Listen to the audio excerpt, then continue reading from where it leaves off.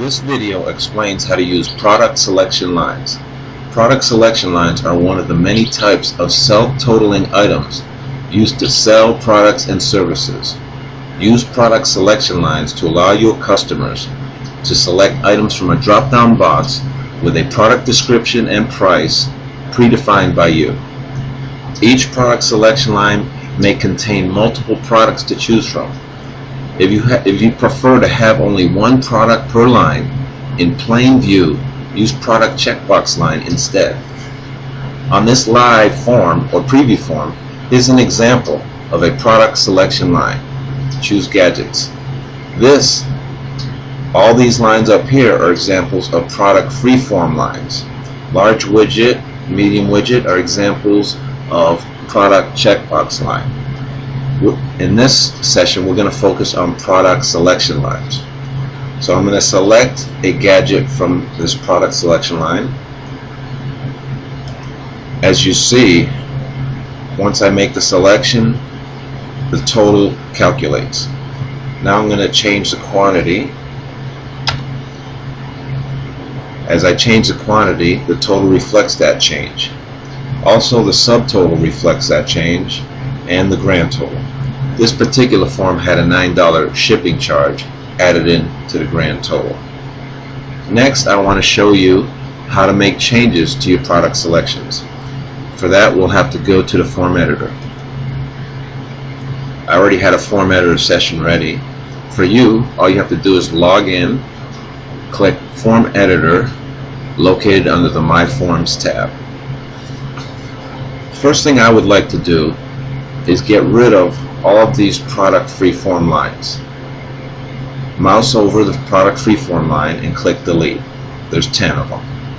One, two, three, four, five, six, seven, eight, nine, ten. I also want to get rid of these column headings that were just for the product freeform lines. Now that's. I also want to get rid of these product checkbox lines.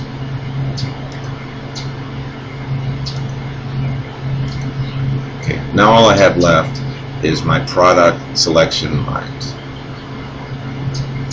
I want to add another product selection line so I can do one of two things. I can copy,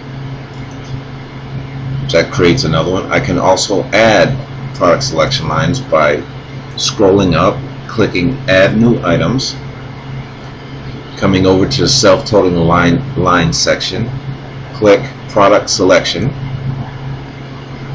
scroll back down to where I want to place it.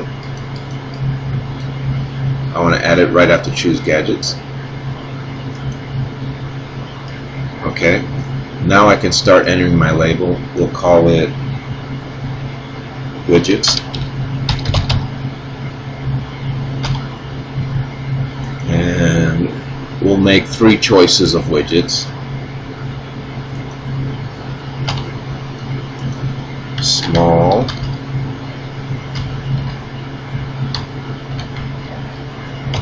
medium,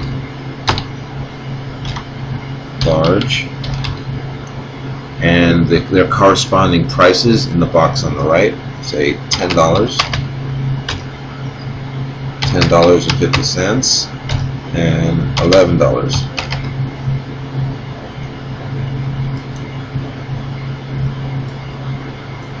Click Add Item. And there it is. The other two gadgets had a feature called Label Hidden, which is why their labels didn't show. So let's hide the label on this new one we just created as well. Click Label Hidden, click Apply. As you can see, they look pretty much the same. Don't forget to don't forget to save changes. Thanks for listening.